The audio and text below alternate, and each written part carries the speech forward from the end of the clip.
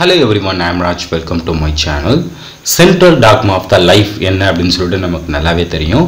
ஒரு டிஎன்ஏலேருந்து புரோட்டீன் எப்படி சிந்தசிஸ் ஆகுது அப்படின்றது தான் நம்ம central dogma of the life அப்படின்னு சொல்லுவோம். கரெக்டுங்களா? ஸோ டிஎன்ஏலேருந்து ஃபஸ்ட்டு எம்ஆர்என்ஏ சிந்தசிஸ் ஆகும். இந்த எம்ஆர்என்ஏலேருந்து புரோட்டீன் வந்து சிந்தசிஸ் ஆகும். ஸோ இந்த டிஎன்ஏலேருந்து எம்ஆர்என்ஏ சிந்தசிஸ் ஆகிறதுக்கு பேர் வந்து டிரான்ஸ்கிரிப்ஷன் அப்படின்னு சொல்லுவோம். அதே மாதிரி எம்ஆர்என்ஏலேருந்து புரோட்டீன் சிந்தசிஸ் ஆகிறதுக்கு பேர் டிரான்ஸ்லேஷன் அப்படின்னு சொல்லுவோம். இன்றைக்கி நாம் இந்த வீடியோவில் எக்ஸாக்டாக இந்த டபுள் ஸ்டாண்டர்ட் டிஎன்ஏலேருந்து எப்படி ஒரு சிங்கிள் ஸ்டாண்டர்ட் இருக்கக்கூடிய எம்ஆர்என்ஏ சிந்தசிஸ் ஆகுது அப்படின்னு சொல்லிட்டு பார்க்க போகிறோம் அதாவது டிரான்ஸ்கிரிப்ஷனை பற்றி கொஞ்சம் டீட்டெயிலாக நம்ம பார்க்க போகிறோம் சரி வாங்க. வீடியோக்குள்ளே போகலாம். நான் இதுக்கு முன்னாடியே வந்து சொல்லிட்டேன் டிரான்ஸ்கிரிப்ஷன் அப்படின்றது புரோட்டீன் சிந்தசிஸில் ஒரு ஃபஸ்ட்டு ஸ்டெப் வந்து இந்த டிரான்ஸ்கிரிப்ஷன் தான். இந்த டிரான்ஸ்கிரிப்ஷனில் ரொம்பவுமே உதவியாக இருக்கிறது வந்து பார்த்தீங்கன்னா ஆர்என்ஏ பாலிமரேஸ் அப்படின்ற இந்த என்சைம் ஸோ இந்த ஆர்என்ஏ பாலிமரேஸ் என்சைம் இல்லை அப்படின்னா டிரான்ஸ்கிரிப்ஷனே நடக்காது. ஸோ டிரான்ஸ்கிரிப்ஷனில் ரொம்ப ரொம்ப முக்கியமான ஒன்று தான் ஆர்என்ஏ பாலிமரேஸ் ஸோ இந்த ஆர்என்ஏ பாலிமரேஸ் ப்ரோகாரியட்டில் வந்து பார்த்தீங்கன்னா ஒரே ஒரு ஆர்என்ஏ பாலிமரேஸ் தான் இருக்கும். இந்த ஒரு ஆர்என்ஏ பாலிமரேஸ் வந்து மூணு ஆர்என்ஏவும் வந்து பார்த்தீங்கன்னா சிந்தசிஸ் பண்ணும். MRNA tRNA and rRNA. இந்த மூணு ஆர்என்ஏவும் வந்து பார்த்தீங்கன்னா ஒரே ஒரு ஆர்என்ஏ பாலிமரேஸ் தான் வந்து சிந்தசிஸ் பண்ணும் ப்ரோ கேரியட்டில் பட் யூ கேரியட்னு வரும்போது three type of RNA polymerase இருக்கும். இந்த எம்ஆர்என்ஏ ஒரு டைப் ஆஃப் ஆர்என்ஏ பாலிமரேஸ் வந்து சிந்தசிஸ் பண்ணும். ஆர்ஆர்என்ஏ வந்து ஒரு டைப் ஆஃப் பாலிமரேஸ் என்சைம் வந்து சிந்தசிஸ் பண்ணும். டிஆர்என்ஏவை ஒரு டைப் ஆஃப் பாலிமரேஸ் என்சைம் வந்து சிந்தசிஸ் பண்ணும். ஸோ நம்ம ஃபஸ்ட் இப்போது பேசிக்காக ஆர்என்ஏ பாலிமரேஸோட ஸ்ட்ரக்சர் எப்படி இருக்கும் அப்படின்னு சொல்லிட்டு பார்க்கலாம்.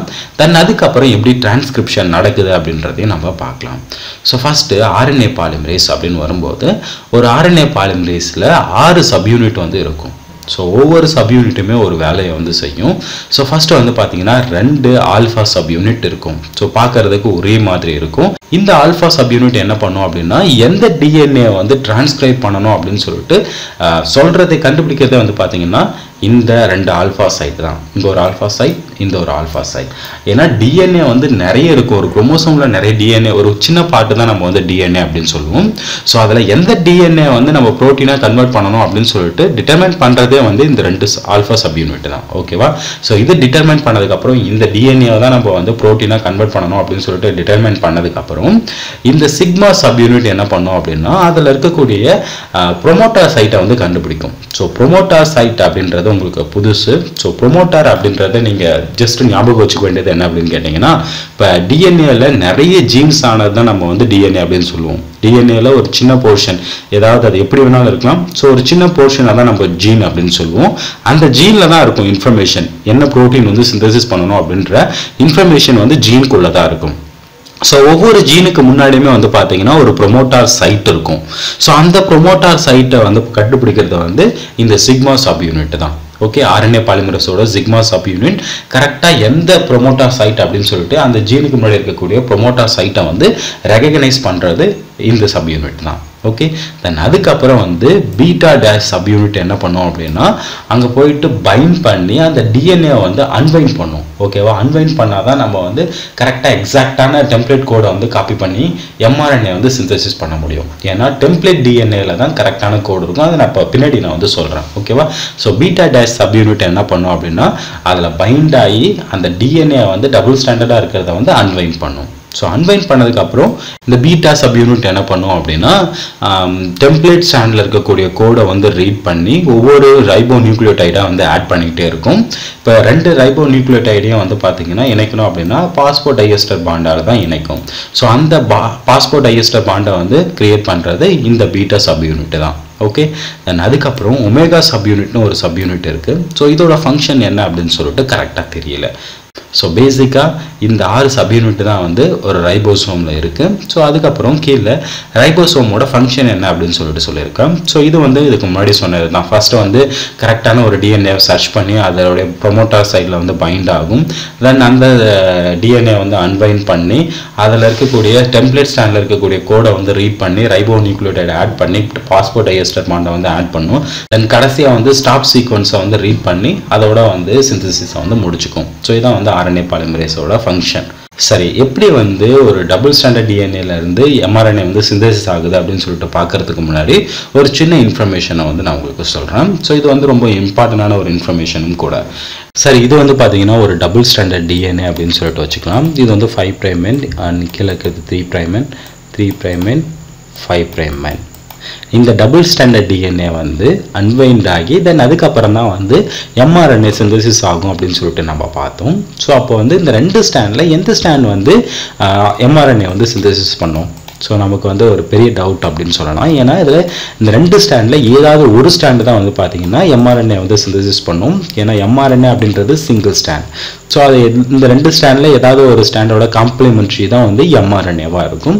ஸோ அதில் எந்த ஸ்டாண்ட் அப்படின்னு சொல்லிட்டு நிறைய பேருக்கு டவுட் வரலாம். நிறைய காம்படிட்டிவ் எக்ஸாம்லையும் இந்த கொஸ்டின் தான் கேட்குறாங்க இந்த மாதிரி தான். ஸோ ரெண்டு ஸ்டாண்டை கொடுத்துட்டு அந்த ரெண்டு ஸ்டாண்டில் எந்த ஸ்டாண்ட் வந்து எம்ஆர்என்ஏ வந்து சிந்தசிஸ் பண்ணும் அதுக்கான கோடு என்ன அப்படின்னு சொல்லிட்டு தான் கேட்குறாங்க ஸோ அது வந்து ரொம்ப ரொம்ப சிம்பிளான ஒரு விஷயம் தான். ஸோ இது வந்து ஒரு டிஎன்ஏ வந்து அன்வைண்ட் ஆச்சு அப்படின்னு சொல்லிட்டு வச்சுக்கலாம். ஸோ இந்த டிஎன்ஏல ரெண்டு ஸ்டாண்ட் இருக்குது அதில் த்ரீ ப்ரைமெண்ட்லேருந்து ஃபைவ் ப்ரைமெண்ட் ஸோ இந்த டைரக்ஷனில் இருக்கக்கூடிய இந்த ஸ்டாண்டுக்கு பேர் வந்து பார்த்தீங்கன்னா கோடிங் ஸ்டாண்ட் அப்படின்னு பேர். கோடிங் ஸ்டாண்ட் கோடிங் ஸ்டாண்ட் அப்படின்னா இதில் தான் வந்து அமினோ ஆசிட்டை கோட் பண்ணக்கூடிய கோட்ஸ் இருக்கும். இதை ஒவ்வொன்றத்தையும் நம்ம வந்து ட்ரிப்ளேட் கோட் அப்படின்னு சொல்லுவோம். இந்த ஒவ்வொரு ட்ரிப்ளேட் கோடுமே வந்து பார்த்தீங்கன்னா ஒரு ஒவ்வொரு அமினோ ஆசிட்டை வந்து கோட் பண்ணும். மொத்தமாக இருபது அமினோ ஆசிட் இருக்குது அப்படின்னு நமக்கு நல்லாவே தெரியும்.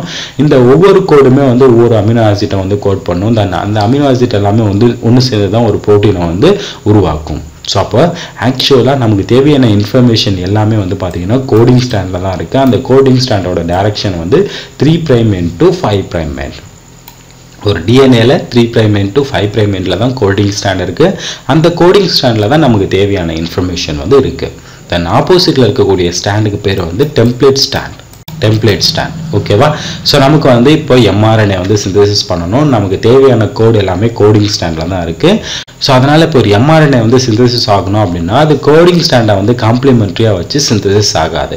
ஏன்னா அந்த கோடிங் ஸ்டாண்டை வச்சு ஒரு எம்ஆர்என்ஏ வந்து உருவாகுது அப்படின்னா அது பார்க்கறதுக்கு இந்த டெம்ப்ளேட் ஸ்டாண்டு மாதிரி தான் இருக்கும். டெம்ப்ளேட் ஸ்டாண்டில் இருக்கக்கூடிய கோட்ஸ் எல்லாமே வேறு வேறு. சரிங்களா? இந்த ஒவ்வொரு கோடுமே வந்து பார்த்தீங்கன்னா வேற வேற அமினோ ஆசிட்டை வந்து கோட் பண்ணலாம். ஸோ அதனால இந்த கோடுக்கும் இந்த கோடுக்கும் நிறைய வித்தியாசங்கள் இருக்கு. இந்த இடத்துல ஏடிசின்னு இருக்கு இந்த இடத்துல டிஏஜின்னு இருக்கு. ஆனால் நமக்கு தேவையான கோடு வந்து இந்த கோடு தான். இப்போ எக்ஸாம்பிள் இந்த கோடிங் ஸ்டாண்ட் வந்து ஒரு எம்ஆர்என்ஏ வந்து கிரியேட் பண்ணுது அப்படின்னு வச்சுக்கலாம். ஸோ இது வந்து சும்மா ஞாபகம் வச்சுக்கோங்க. டீக்கு பதிலாக ஏ வரும். ஏ இருந்தது அப்படின்னா அந்த இடத்துல டி வரும். பட் இது எம்ஆர்என்ஏ அப்படின்றதுக்காக யூ பேஸ் பெர் ரூல் படி. ஜி இருந்தது அப்படின்னா அந்த இடத்துல சி ஸோ இந்த கோடை பாருங்கள் ஏயூசி ஸோ இந்த இடத்துல ஏயூசி ஸோ இந்த மாதிரி தான் வருது. ஓகேவா ஜிசியூ ஜிசியூ டிக்கு பதில் யூ ஓகேவா ஸோ இந்த கோடு தான் நமக்கு கிடைக்கும். இப்போ ஒரு எம்ஆர்என்ஏ இந்த மாதிரி கிரியேட் ஆகுது அப்படின்னா இந்த கோடு இந்த டெம்ப்ளேட் ஸ்டாண்டர்ட கோடும் வந்து ஒரே மாதிரி இருக்கும். பட் நமக்கு டெம்ப்ளேட் ஸ்டாண்டர்ட கோடு தேவையில்ல. இந்த கோடிங் ஸ்டாண்டர்ட கோடு தான் தேவை. அதனால் நம்ம ஒரு எம்ஆர்என்ஏ வந்து கிரியேட் ஆகுது அப்படின்னா அது டெம்ப்ளேட் ஸ்டாண்டை வச்சு தான் வந்து கிரியேட் ஆகும். ஸோ இப்போ இந்த டெம்ப்ளேட் ஸ்டாண்டை பேஸ் பண்ணி ஒரு எம்ஆர்என்ஏ வந்து கிரியேட் ஆகுது அப்படின்னு வச்சுக்கலாம். ஏ இருந்தது அப்படின்னா அந்த இடத்துல வந்து எம்ஆர்என்ஏ அப்படின்றதுக்காக யூ வரும். டி இருந்தது அப்படின்னா இந்த இடத்துல ஏ வரும். சி இருந்ததுன்னா ஜி வரும். ஸோ இங்கே வந்து பார்த்தீங்கன்னா இது ஒரு எம்ஆர்என்ஏன்னு வச்சுக்கலாம். டெம்ப்ளேட் ஸ்டாண்டில் வந்து கிரியேட் ஆகிருக்கு ஸோ இந்த எம்ஆர்என்ஏ கோடும் அண்ட் நம்மளுடைய கோடிங் ஸ்டாண்டர்டோட கோடு ஒரே மாதிரி இருக்கும். ஸோ அப்போ இந்த கோடு தான் வந்து பார்த்தீங்கன்னா ஒவ்வொரு அமினோ ஆசிட்டை வந்து கோட் பண்ண போகுது. ஸோ அப்போ இந்த மூணு கோடும் வந்து பார்த்தீங்கன்னா ஒவ்வொன்றும் ஒரே மாதிரி தான் இருக்கும். கரெக்டுங்களா ஸோ அதனால் எம்ஆர்என்ஏ வந்து கிரியேட் ஆகுது சிந்தசிஸ் ஆகுது அப்படின்னா அது எப்போவுமே வந்து டெம்ப்ளேட் ஸ்டாண்டை வந்து காம்ப்ளிமெண்ட்ரியாக வச்சு தான் வந்து எம்ஆர்என்ஏ வந்து கிரியேட் ஆகும். ஸோ இந்த விஷயத்த வந்து நல்லா ஞாபகம் வச்சுக்கோங்க. கோடிங் ஸ்டாண்ட் எப்போவுமே வந்து த்ரீ ப்ரைம் டு ஃபைவ் ப்ரைமெண்டில் இருக்கும். தென் டெம்ப்ளேட் ஸ்டாண்ட் எப்போவுமே வந்து five prime end to three prime end இந்த டைரக்ஷனில் தான் இருக்கும். கரெக்டுங்களா தென் இப்போது டிரான்ஸ்கிரிப்ஷனோட ஸ்டெப்ஸ் என்னென்ன அப்படின்னு சொல்லிட்டு பார்க்கலாம். டிரான்ஸ்கிரிப்ஷனில் மூணு ஸ்டெப் இருக்குது ஸோ ஃபஸ்ட்டு ஸ்டெப் வந்து இனிசியேஷன் ஸோ இந்த இனிசியேஷனில் என்ன நடக்கும் அப்படின்னா ஆர்என்ஏ பாலிமரேஸ் என்சைம் போயிட்டு கரெக்டான ப்ரொமோட்டா சைடை வந்து கண்டுபிடிச்சி அந்த இடத்துல பைண்ட் ஆகி தென் அதை ரெண்டுத்தையும் வந்து பிரித்து ஆர்என்ஏ வந்து சிந்தசிஸ் பண்ண ஆரம்பிச்சிடும் ஸோ இந்த எலாங்கேஷன் பீஸில் என்ன நடக்கும் அப்படின்னா அந்த ஆர்என்ஏ ஸ்டாண்ட் வந்து கண்டினியூவாக வந்து க்ரோ ஆகிட்டே இருக்கும். ஸோ எந்த அளவுக்கு கோடு இருக்கோ அந்த அளவுக்கு வந்து இந்த எலாங்கேஷன் பேஸ் வந்து நீண்டு போயிட்டே இருக்கும். தென் அதுக்கப்புறம் ஃபைனலாக வந்து இந்த இடத்துல ஸ்டாப் சீக்வன்ஸ் இருக்கும். ஓகேங்களா இதோட வந்து தேவையான கோர்ஸ் எல்லாமே வந்து முடியுது அப்படின்னு அர்த்தம். ஸோ இந்த டெர்மினேஷன் ஃபேஸ் அதுக்கு அடுத்து தான் ஸோ இந்த டெர்மினேஷன் ஃபேஸில் என்ன ஆகும் அப்படின்னா இந்த ஆர்என்ஏ பாலிமரேஸ் என்சைம் வந்து இந்த ஸ்டாப் சீக்வன்ஸை வந்து தாண்டி போயிடுச்சு அப்படின்னா அதோட ஆர்என்ஏ வந்து சிந்தசிஸ் ஆகிறது முடிஞ்சிடும். ஸோ இந்த மூணு ஸ்டேஜில் தான் வந்து டிரான்ஸ்கிரிப்ஷன் வந்து நடக்கும். இப்போ நம்ம அதை கொஞ்சம் டீட்டெயிலாக நம்ம வந்து பார்க்கலாம்.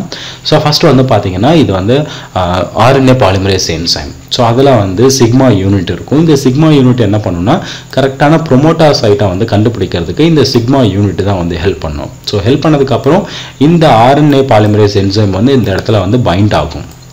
ஓகேவா இந்த இடத்துல வந்து பைண்ட் ஆகிக்கும் ஸோ இந்த இடத்துல வந்து பைண்ட் ஆகிடுச்சு பைண்ட் ஆனதுக்கப்புறம் இந்த டபுள் ஸ்டாண்டர்ட் டிஎன்ஏ வந்து அன்வைன் பண்ணும். ஓகேவா அன்பைண்ட் பண்ணுது.